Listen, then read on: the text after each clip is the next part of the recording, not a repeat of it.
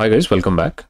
So in this one, we're going to learn how to achieve protected routes, uh, which means we restrict access to certain pages. Only users with a certain permission or role can access those pages. But in this one, however, uh, I'm going to restrict access uh, for everyone so that nobody can access those pages. So before we dive into coding it, there are several ways of doing it maybe I will start with a bad way of doing it and then go on to the best way of doing it. So let's say we have a, you know, uh, inside our routes, we have a route called, uh, let's call this dashboard, right? So dashboard is uh, usually when user logs in, they will usually go to this page where they can see certain kind of data related to uh, something related to them. Now, I'll have a container and I'll have a h1 here and it says dashboard. Okay. So probably it has some more content here, which is user specific. Uh, but here we can actually go to that page and see the title here. And maybe there is some content, right? Which you are not concerned right now. Now, how do we restrict from someone accessing this? So this is the bad way of doing it, which is, you know, you can do it here in script, script tags. So let uh, access or let user equals, we assign it to a empty, you know, object.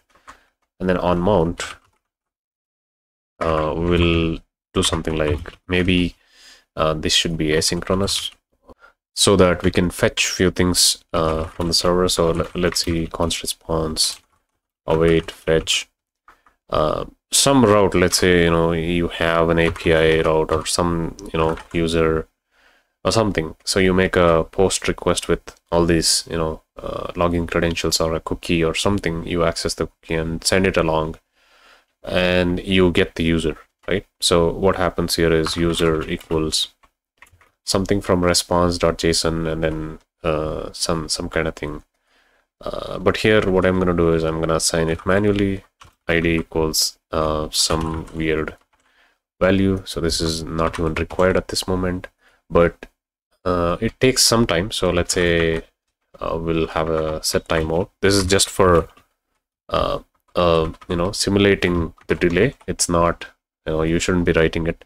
So let's say it takes a second to get the user right? Now um, at the end, however, uh, in a reactive state statement, or or here after this, what we'll do is if uh, not user, if user is not present, then we use goto. I think it imported goto already. Yeah, we'll do slash login. So what we are saying to the user is, you know, if you uh, if user is not present then go to this uh, login page. And uh, login page is not present so let me create that as well. So I'll quickly do that. Directory with login and then page. That's what now I'm not gonna do anything uh, you know uh, like a functionality here like a login function or something.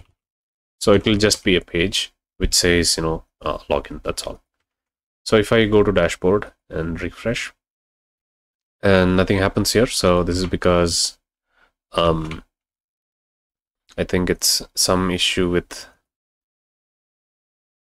on mount. Uh, I think it, it checks right away.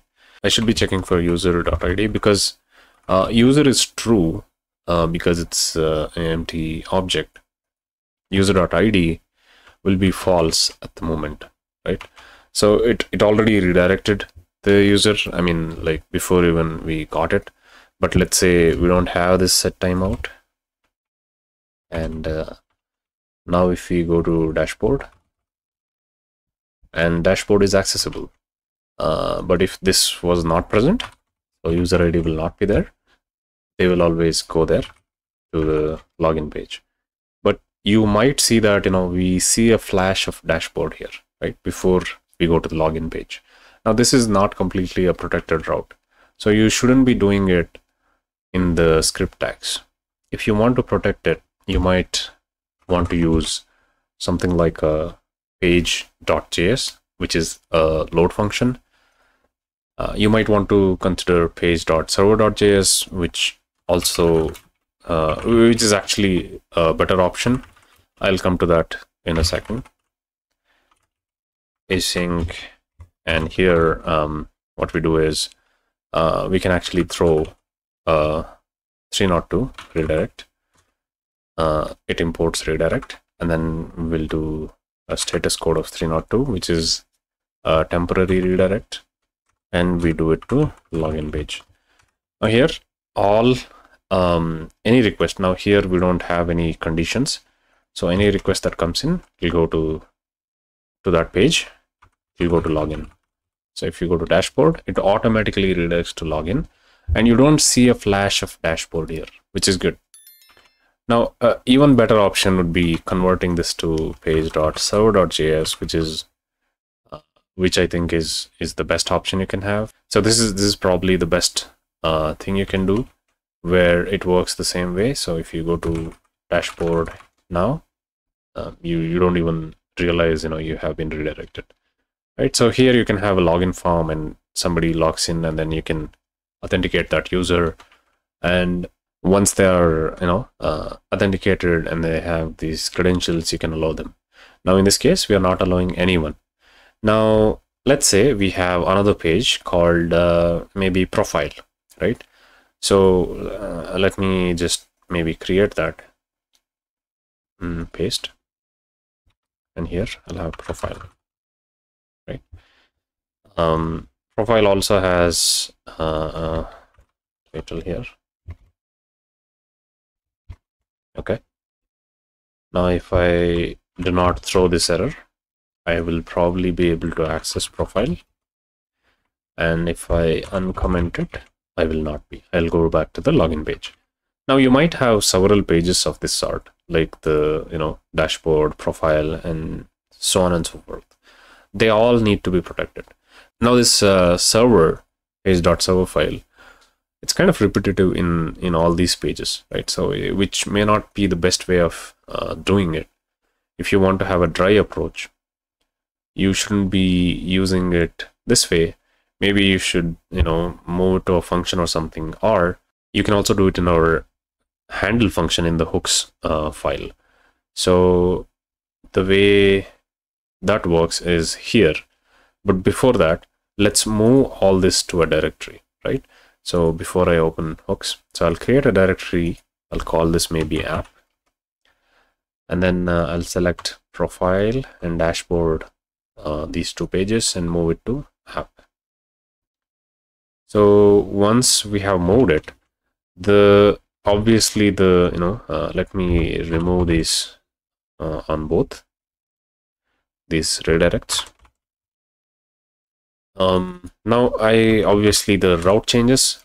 It will be app dashboard and also app profile, which may not be what you're looking for. Let's say you don't want to change any, you know, routing. Like you don't, you want slash dashboard, not slash app slash dashboard. So in that case, also you can do something like this. You can just uh, rename this and add brackets. So this will be only for your convenience now. This app will only for the convenience. Everything else will uh, work as usual before. So you can go to slash profile slash dashboard. Uh, things work fine. And now you can you know uh, use this throw redirect so that you, you will be redirected. For now what I'll do is uh, I will keep it commented out so that anyone can access these pages. But what I will do is in the hooks function I will make sure anything inside this app uh, this you know directory cannot be accessed or is protected. So let's see how to do that. Let's go to hooks. Um, it's inside source hooks.server I will close the other ones. So before I make the if condition uh, I'll just see how we can you know check whether the request is coming for things inside this app directory I'll do event dot um, not request, I think route. Okay. So when we do event dot route, we see here that it's it's it has this you know uh, text which we can check against so route dot id and uh, which will be that text um, dot uh, starts with maybe or you can also use includes. It already added a, a optional chaining. I'm not quite sure why but maybe it's some feature right? So now i should get a true for this route. Yes i got true. And uh, if i do home page i should get it as false. I think i got it as false. Yes. Uh, now i'll change this to if this is the route. Then uh, throw uh, I, I think the same thing redirect we'll do 302 and to login page. Okay. um yeah so let's go to dashboard. No we are already in login. Let's go to profile. We're again in login so what happens in this case is we can actually get rid of the server files and our app can have lesser files and lesser code. And all, everything happens in the you know hooks server function. Now here you know nobody will be able to access these two pages but that's not what we want. We want someone to access it. We will look into that in the next video. Thanks guys. Bye bye